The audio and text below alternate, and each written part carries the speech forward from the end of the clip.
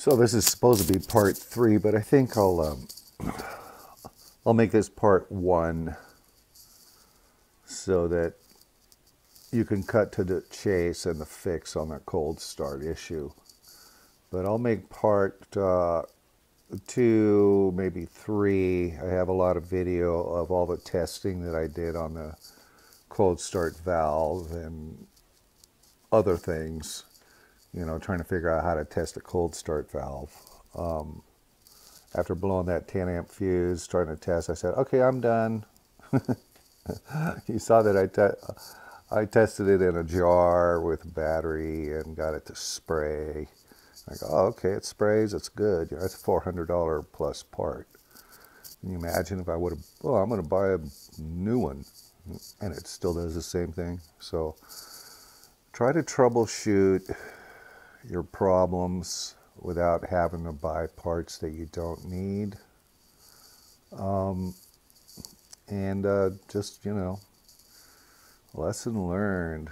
So, yeah, so if you've got one of these cars and you're still you're having cold start issues and you have new filters on there you know you can try testing your cold start valve you live in a cold climate you can try testing it um, and uh, there's a little information there on duty cycle that might help some people if they're not sure um, what I definitely would do though is make sure that all your tune-up parts are in good condition before even attempting to touch the duty cycle or the EHA adjustment.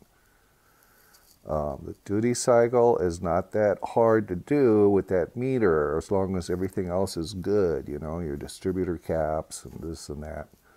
Um, the EHA, I would not touch that with a 10 foot pole trying to adjust that because I've tried it on other cars and man, on one other car and it just a tiny, a tiny turn of that screw on the back of it throw, and throw everything off and you'll never get it back to where it was.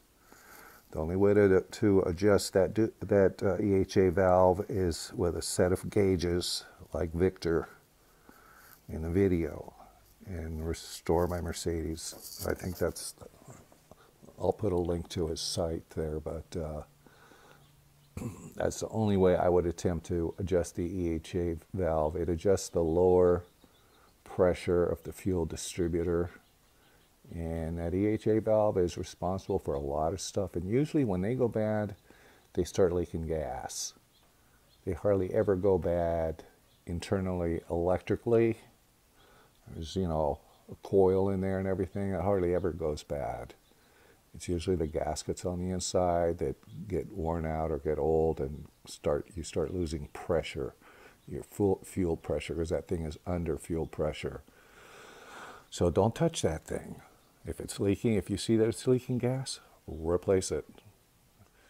All right, we're going to test uh, first first start of the day. Kind of a cold start. 68's not real cold. Oh, let's see how this thing starts after my diagnosis.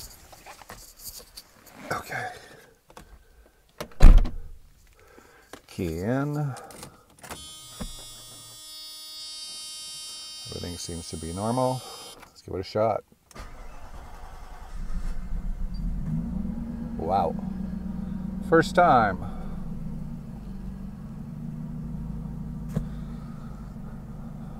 First try, first time. So, after all my testing, turns out to be air filters. The air filters. Air filters uh, was from a previous owner. They looked clean. They were they were old I mean, I don't know how old they were, but they were. Uh, you could you could not see light through them. If you held it up to the sun or a bright light, you couldn't see anything through there. So um, I ran the numbers on the side of the uh, air cleaners, and it's not a Mercedes number. It turned out to be a Chinese manufacturer of a, and when I put, put it in Google, it was Kaka Parts. Kaka Parts. And I think uh, they are Kaka Parts. I have never in my life, with probably 30, 40 cars I've owned, have had an issue with the air cleaner causing cold starts. So live and learn.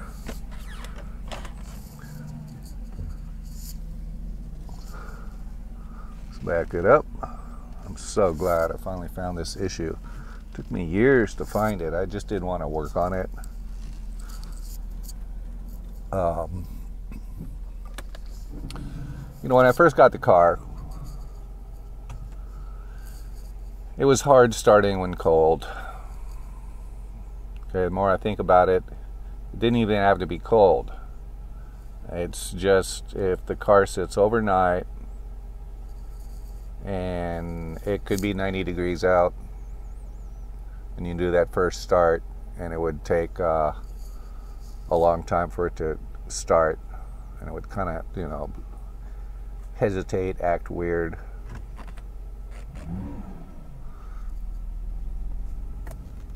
Um, so I just said, well, maybe it needs new uh, distributor caps. So I replaced the distributor caps, the rotors, the spark plugs, um, OVP relay, bunch of other stuff.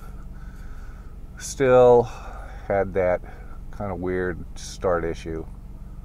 Um, and then when I was doing all that testing for the cold start valve, which I was told check your cold start valve. So I spent like a week, you know, off and on just testing it and testing the temperature sensor and looking for codes and chasing my tail. And only did I notice maybe a couple days ago is that when I was testing to see if the cold start valve was, you know, um, firing or spraying gas in that jar, I said, wow, it starts on the first start. It's weird. On the first try. And then I started thinking, what's different? I don't have any air filters on there. So I looked into it and um, I guess that's what it is. Um, so I ordered some new ones. So if you have cold start issues with your SL, uh, try taking the air filters off and see what happens. I mean, you might have all these other issues, but this thing, you know, I take pretty good care of it, and it's fairly low mileage, 38,000 miles. Um, yeah, try taking the uh, the air cleaners off and see if it starts like that. If it does, then you know you got bad or dirty air cleaners. I mean, that uh, air cleaner box is sealed really good when the air cleaners are on there. They did a good job of that. Make sure all the incoming air is going to be real directed through the filters. Um, so that's what it was. Yeah, let's take it for a little quick test drive. It's a Sunday. I think it's February 7th or 6th. That's how it runs with no filters. Probably the air air airflow is a little too much for the system, but I just want to make sure it's not gonna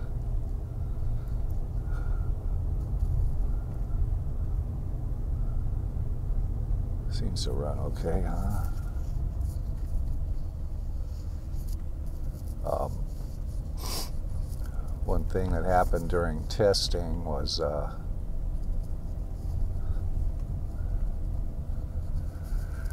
was that I blew a fuse. The OVP relay testing the uh, coolant or the uh, cold start valve I put a jumper in the wiring to test for the uh, 12 volts and see what it was doing when it was running. And I heard that uh, ringing sound. The engine wouldn't even start. And uh, I heard this ringing sound. So I unplugged the uh, one of the jumpers to the the test jumpers to the cold start valve. Ringing stopped. Turned the key off, checked the OVP, and I blew a 10 amp fuse in it. So I guess that's what was causing the ringing. So I just want to make sure I didn't fry anything else in there. So don't test that that circuit with the engine running. I mean, you can unplug the connector to the cold start valve, and uh, you can test the voltage there with the uh, ignition on, engine off, and it'll confirm that you have 12 volts there. But it has some kind of a weird circuitry. I'm not 100% how that works, but I think they use uh, part of the ground is what turns it on and off, turns the valve on and off, and uh, it makes zero sense to me why uh, why it short circuited and blew that that fuse.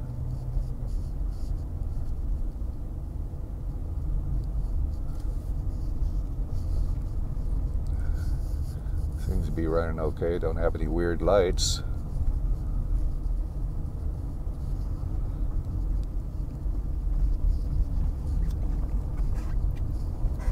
it's nice here today. It's be about 75 degrees in February. Are you kidding me? Southern California.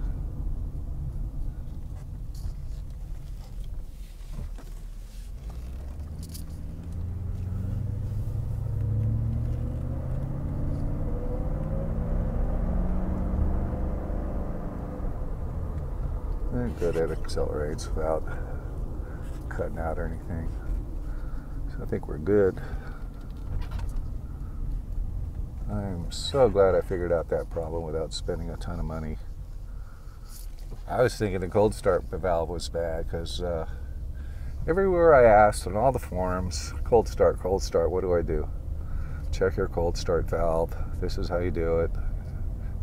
Put it in a jar. See if it's spraying when it's really cold out, you know. So. And then there was a question that nobody really seemed to answer.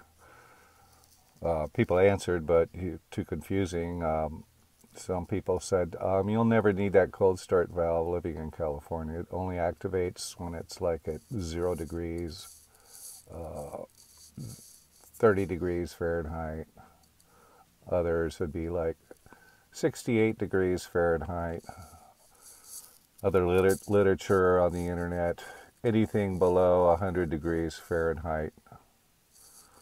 Um, so, you know, that's, I just, I couldn't find it in any manual or anything. The thing about this, these cars is, uh, you know, if I had a, an electrical schematic for the car, that would be cool. But it's hard to get that information. I guess the only way you can really do it is subscribe to like one of those ALLDATA places. And then hope that they have the right wiring for your car that you know even if they say they do it's kind of like remember those old uh, Haynes manuals and you'd buy it and you'd go, oh, here's a manual for my car, and then you see that it covers like 20 different models and it has schematics in the back, and you don't know, it doesn't match up to your car. Some things kind of do, but not, you know. So, unlike my Lincoln that I bought, 2000 Lincoln, I immediately found factory manuals for the electrical and mechanical system of the car, and I mean, it has every electrical schematic you would want it's all color coded. It's great. But with the Mercedes, it's hard. I think it's hard for all of them. Um, Mercedes kind of holds on to that information. They don't want you to know how to fix things yourself. They want you to take it to the dealer and have it done that way. But you know, it's kind of hard when you're a DIY guy and stumbling your way through it, like I did with this thing. But at least, um, you know, over the last eight years, I've replaced all the tune-up parts, and I just did the fuel pumps, accumulator. Um, the only thing wrong I have with this car now is the Hertz duty cycle. It's an adjustment uh, where you can adjust the uh, the fuel mixture just a little bit on the fuel distributor and you do it with a uh, meter like I have in the video um, and it gives you you know you want to have it cycling at 50% and it's um, you know it really tells you that that thing is tuned right. And what it what I like it as it for is that here in California our emission testing is is pretty brutal. You know the car fails and you're screwed. And Usually with these old Mercedes, before I go get a emission tested, I always check the duty cycle to see if it's good or not. Like uh, the 300E my son has, like he had to have emission testing done, and, and I checked the duty cycle, and I couldn't read it. It was just like this car. When uh, you know you hook up the leads and stuff, and there's zero information on there. Um, so with his car, I ended up replacing the EHA because it was leaking gas, and that corrected the duty cycle like that. It came back, and I'm, you know, perfect. Um, with this car, uh, I'm kind of hesitant on a, you know, such an expensive part that's not leaking, and I did test the EHA to see that it's uh, the circuit is good in it by ohming it out and getting the correct readings for that. So I'll keep inquiring on that. I don't have to get it tested this year, but next year I got to get it tested. It's always passed, you know. But I would like a heads up and uh, be able to read that, just like I, I think I put uh, Victor in, uh, was it um, Restore Your Mercedes site on YouTube, and he shows his 91, you know, with his duty cycle and how it's hooked up and all that stuff anyways, uh, I think that's about uh, about it for now. Maybe uh, we'll lift the hood and take a look under there. Well, it looks good. It's not uh, it's not leaking. There's your cold start valve, and there's the electrical. Only test that plug when the ignition is on and engine isn't started, because you could blow the OVP relay uh, fuse and cause other damage. You got your coolant sensors here. Again, this one over here. It's the one pin that's for the gauge. That's for the the needle in the gauge. Uh, this is the four pin that controls um, controls the uh, CIS. Tells the engine is cold, and I think there's a cold start function and it also it also talks to the EZL which is over here you got another two pin sensor um, and that one is um, I believe that one is for a auxiliary fans for the fans in the front to come on um, usually when the thing is overheating um, other than that, you've got your fuel distributor there with your tower for adjustment. You remove that ball bearing, then you can adjust it. EHA X11 connector for testing the Hertz duty cycle over on this side. Um, yeah. So this is the, uh, these are the air filters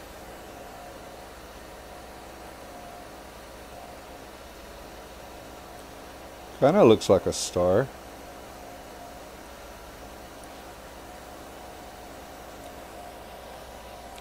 And I mean, it doesn't look horribly dirty. I guess they're kind of faded. This is from the previous owner.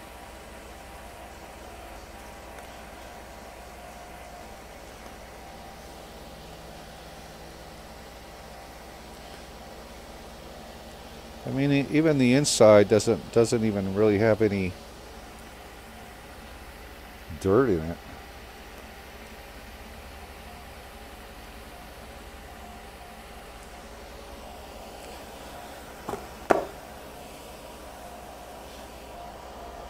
Bad air filter.